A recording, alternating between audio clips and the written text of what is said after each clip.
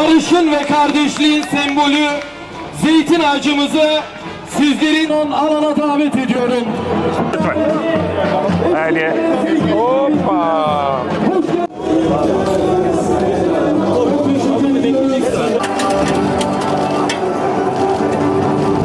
Son geldiğimde miting meydanında otobüsün üzerindeydik. Orada Sayın Mehmet Ertaş'a ve sevgili Ahmet Akın'a sahip çıkmanızı, Cumhuriyet Halk Partisi'ne sahip çıkmanızı, uzun süredir hak edilmiş bir beraberliğin, bir kavuşmayı daha çok ertelememenizi, adaylarımıza sahip çıkarak kentinize, ilçenize sahip çıkmanızı istemiş. Size söz mü diye sormuştum. Siz de söz vermiştiniz. O sözü yerine getirdiniz. Her iki kişiden birinin oyuyla Edremit Belediyesi'ne Mehmet Ertaş'ı Balıkesir Büyükşehir Belediye Başkanlığı'na sevgili Ahmet Akın'ı getirdiniz. Hepinize teşekkür ediyorum. Sağ olun, var olun. Mehmet Ertaş söz verdiği sözleri gücü nispetinde zaman geçirmeden yerine getirmeye başladı.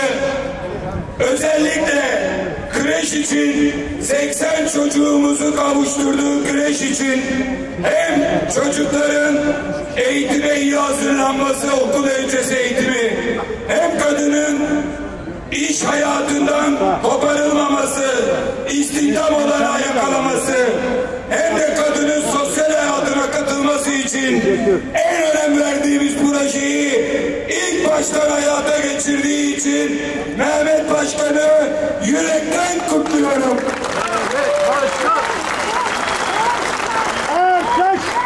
Halk çay bahçesi sözü vermişti. İlkini açtı, diğerleri yolda. Emekliye sahip çıkacaktı.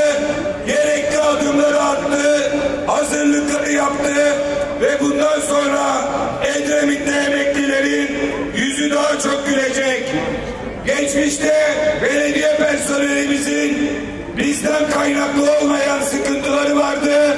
O sıkıntıların tamamını tadil ediyor. O sıkıntıların tamamını ortadan kaldırıyor. Ve artık belediyede yeniden yüzler gülüyor.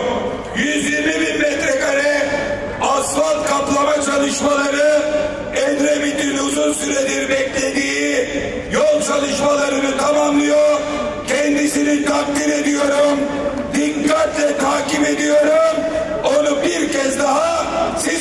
emanet ediyorum.